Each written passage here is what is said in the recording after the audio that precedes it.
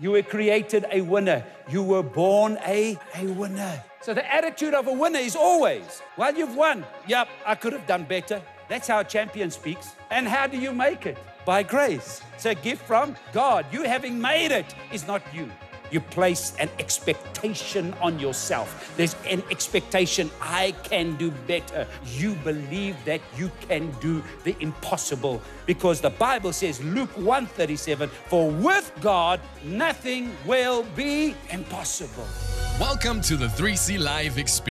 Paul says, He who wins souls is wise. And that's why in verse 19 uh, of the piece that we are reading, we read verse 24. But in verse 90, he says, 19, he says, For though I am free from all men, I have made myself a servant to all, that I might win them all. Say me, win.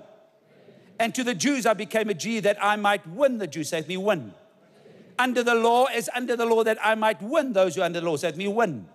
Those who without the law, I became one without the law so that I might win. So let me win. He says, To the weak, I became as weak that I might win the weak. Not to the weak, I became like their Savior so that they can worship me and say, You're awesome.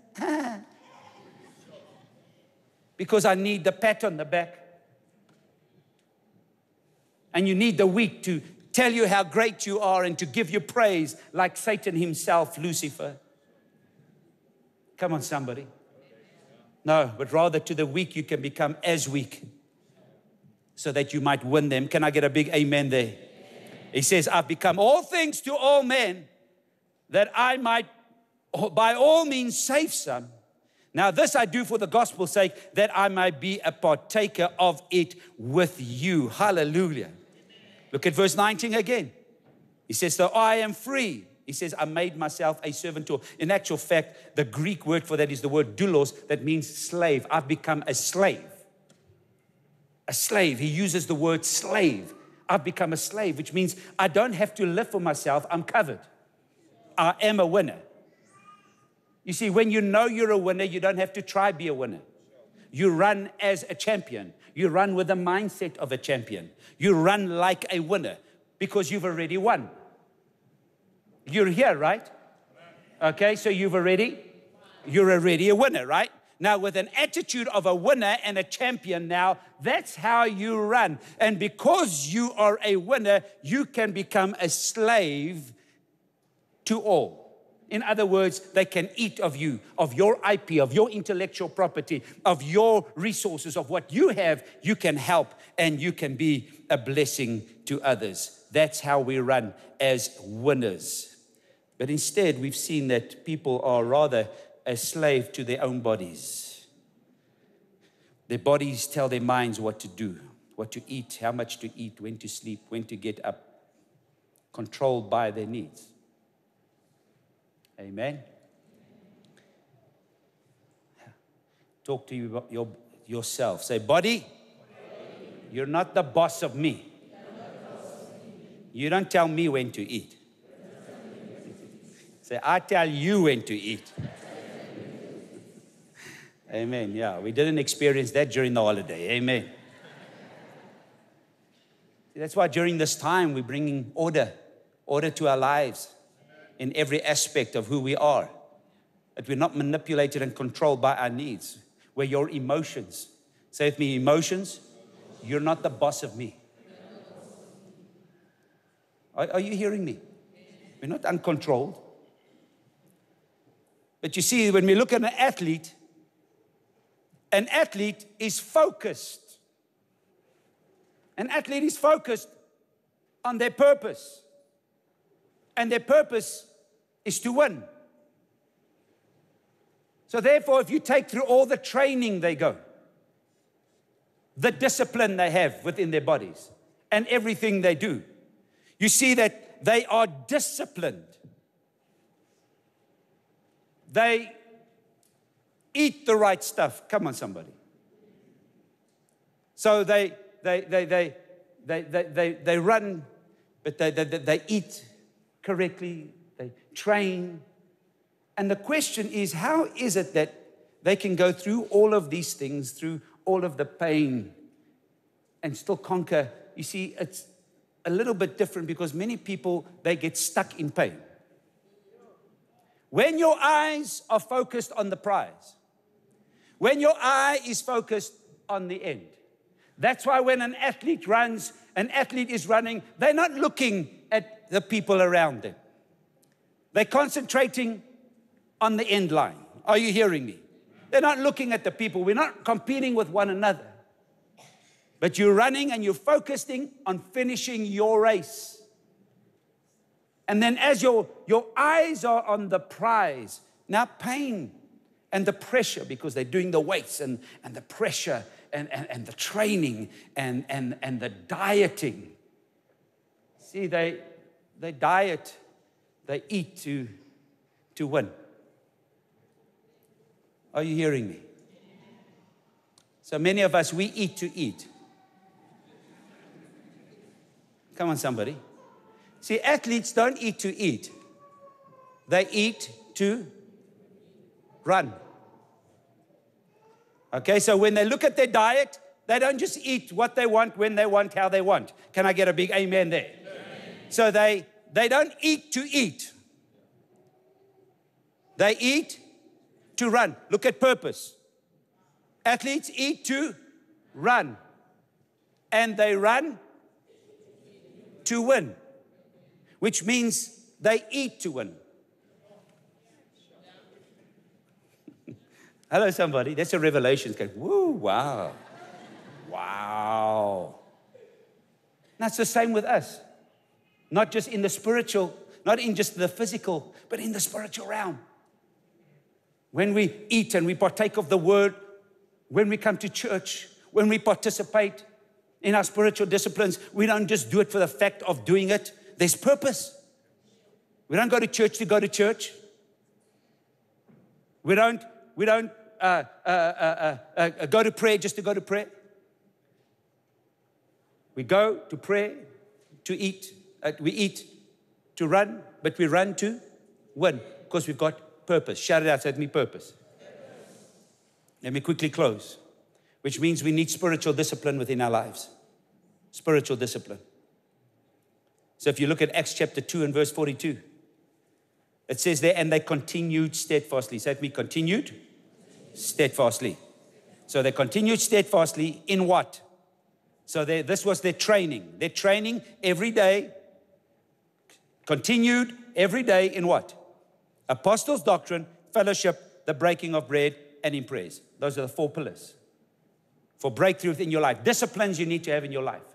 First of all, apostles' doctrine. In other words, having someone sent into your life to feed you, not you just by yourself and you and Jesus. No, you'll interpret the word according to where you're at in your hole.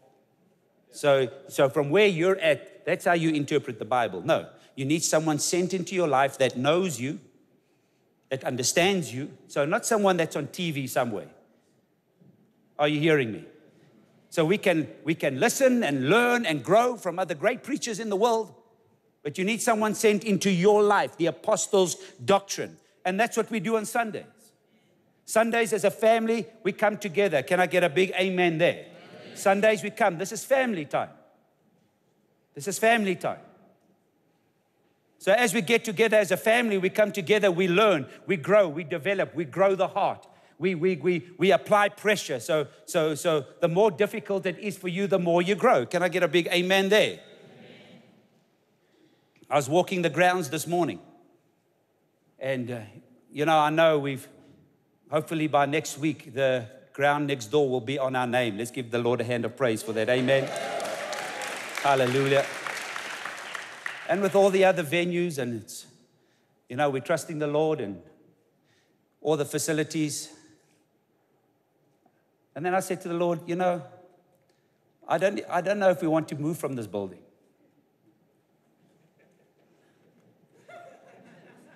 Because I don't want it to be easy.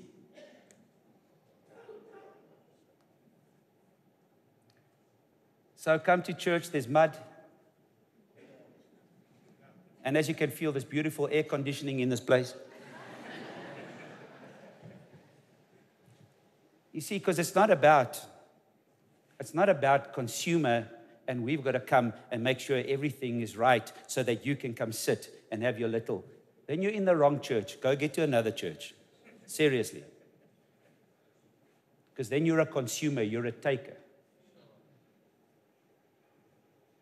So, even with all the issues and stuff like that, what are you doing? Something's not working.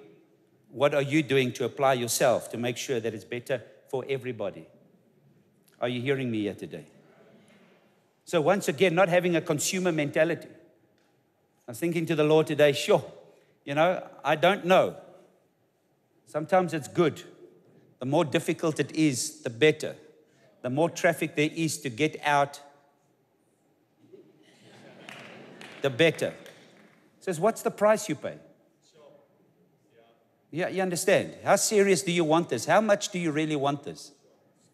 Than to be a consumer and little every little thing irritates you and everybody must jump to you little you're like a little rich man. You understand? You're a consumer, you're a taker. At the end of the day, that's a poverty mentality. That's why we've got many millionaires. They've got a poverty mentality. Just because you've got money doesn't mean you're not poor. So at the end of the day, we've got to build. That's why you say, Lord, make me strong. So what does God do? He sends you problems. He sends you pressure. Come on, somebody. Now you need to, I mean, how do you strengthen your muscles? Through? Through pressure. You understand? You don't go walk into a gym and say, Make me strong. the guy say, Are you stupid? Pick up a weight. And not that little light one, that pink two kilogram one.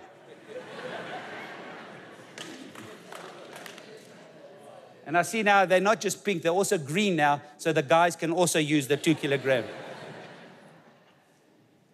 You got to pick something up that applies the pressure to make you strong. Now you say, Lord, make me strong. Now the pressure comes and you cave. Why? Because your eyes are focused on the pressure rather than on the prize.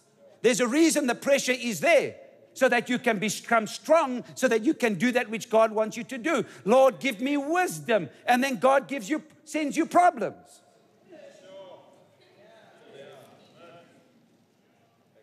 Now you've got a whole bunch of things. Now you're asking for wisdom, and now God gives, sends you. Let me say this God sends you choices.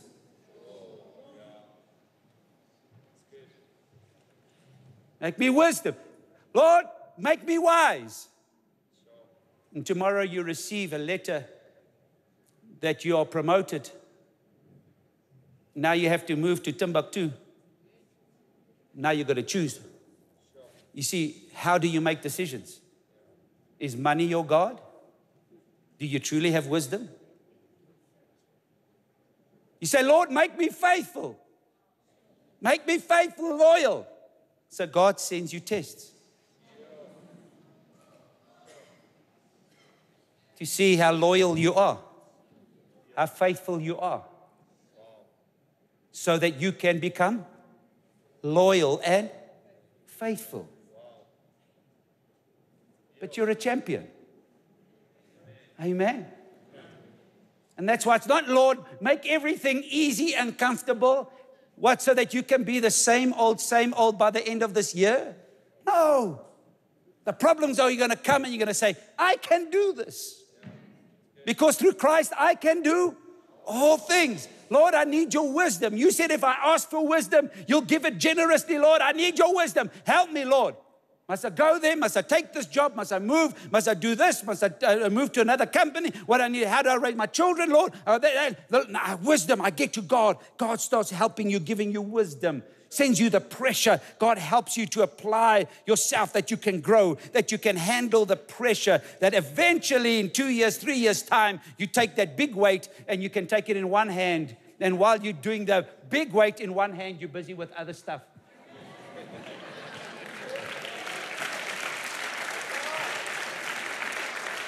Because at the moment you take that one weight and you've got to concentrate.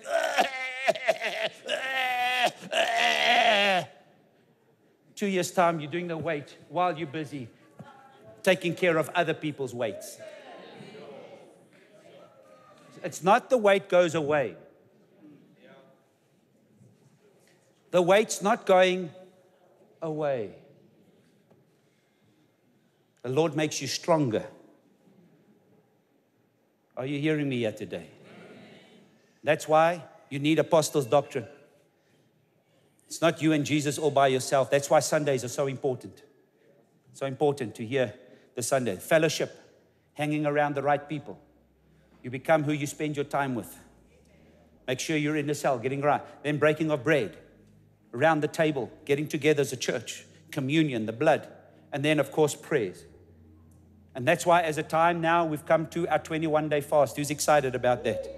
And that's why we start every year. We start. We give the first month to Jesus. The first 21 days, why? It takes 21 days to form a habit. We want to get you into the habit of prayer and the habit of getting to God, and then so that you can do it by yourself after we've done that. But we're doing it together. We're helping to discipline yourself, discipline the body. As he says, I make myself, Paul says, I make myself a slave. I make myself. I make that decision. I have the ability to make myself. And that's why in Mark chapter 135, and I don't have time to explain it all, but he says, Now in the morning, uh, having risen a long while off before daylight, he went out and departed to a solitary place, and there he prayed. It's important that we need to pray. Are you hearing me here? And we're going to help you to get to that place. But you need the spiritual disciplines within your life to become what God wants you to be. The husband you need to be, the wife you need to be, the parent you need to be, the citizen you need to be. Come on, somebody. We have a responsibility. How do we do that? Well, we do that by getting to God. And that's why when uh, uh, uh Matthew 6, verse 16, he says, Moreover, when you fast, Jesus is saying, not if you fast, he says, when you fast. Every Christian is expected to fast. We don't do this alone. Sometimes you struggle. Uh uh Get a prayer buddy, get a fast buddy. We do this together. Amen. Come on, let's stand to our feet. Just stay where you are. Just lift up your hands unto the Lord. And Lord, where we have been faithless, please forgive us. We come before you to recalibrate so that we can be effective. To sharpen the knife, we need to be sharpened, Lord so that we can be more effective in the workplace, in our business, in our studies, in our ministry, in our neighborhood, in our families, Lord, in our marriages where you've called us. Lord, we want to be more effective, we want to be sharper. And therefore, Lord, we need you. And that's why in these 21 days, we're going to be seeking you with all that is within us. We need change and transformation within our lives, Lord. And where we've had a loser attitude, where we've lost our faith, Lord, please forgive us. Where we have so focused on the pressures that we don't see the prize. Where we have allowed ourselves to become victors, uh, uh, victims rather than victors, Lord, please help us. Where we focused on where we've been hurt and the pain we've experienced, Lord, where we've allowed our past experiences to define us, please forgive us, Lord. We rather want those past experiences to propel us to the future. And therefore, Lord, we thank you that you help us. You help us to be loyal, you help us to be faithful. And Lord, that we can say, I can do all things through Christ who strengthens me. Say with me, Thank you, Lord. You are on my side. You lead me, you guide me. That through you, I am more than a conqueror. I can do all things because you strengthen me. I can do this. I can do this. I can do this. I am a winner because of Jesus. Come on, give the Lord a mighty hand of praise. Hallelujah. Yes. Thank you, Jesus.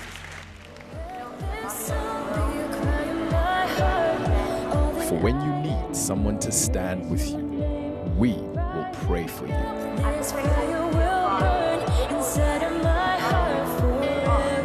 SMS your prayer request to 33347 and we will pray for 30 days, trusting God for a miracle in your life.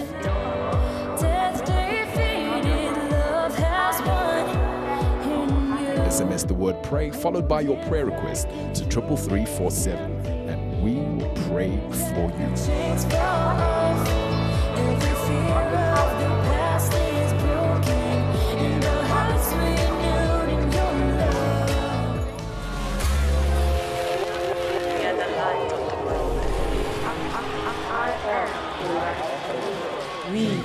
Are the of the world. G12 Africa Conference Light of the World, 24 to 25 February 2023. Hosted by Pastor Bert and Charné Pretorius at Engia Moreleta Park in Tshwane. With guest speakers Pastor Ray McCauley, Pastor Mangaliso Machobane, Pastor Cesar Castellanos, Pastor Collins Gomo, Bishop Oriel Balano, Pastor Atsa Palveda, guest artists Khaya Mthethwa, Doro Zombambo. Register now on www.my3c.tv.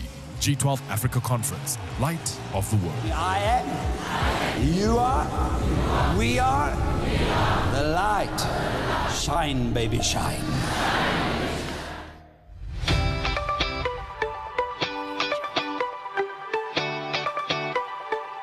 No matter the age, no matter the background, no matter the journey.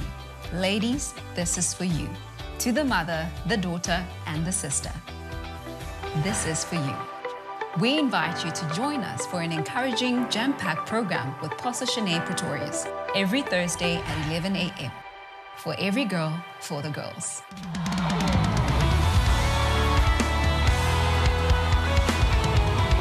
3C Live presents its fifth album, Communion with the Kid. Featuring Khaya Mthethwa. You are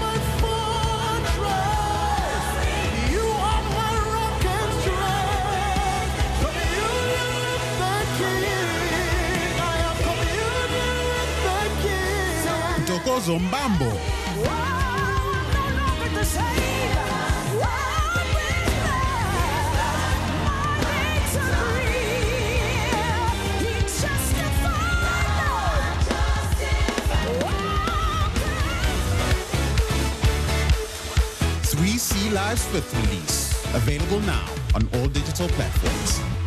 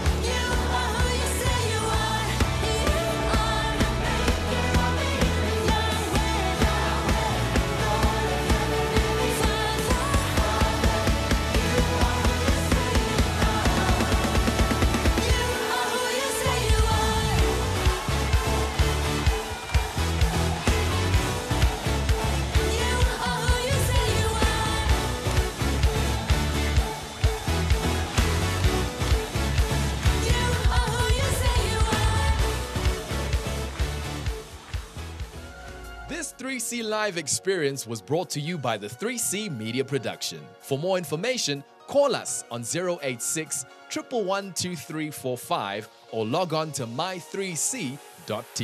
Or you could write to us at PO Box 10508 Centurion 0046 or email us at tv at my3c.tv. If you need prayer, SMS the word pray followed by your prayer request to 33347 and our team of prayer warriors will pray for you for 30 days. If you would like to become a partner with the ministry, SMS the word partner to 33347 and one of our team members will get back to you within the next few days. You can follow Pastors Bert and Charné Pretorius on Facebook, Twitter, and Instagram to be inspired daily by morning devotions, ministry updates, and much, much more. Log on to my3c.tv for more information.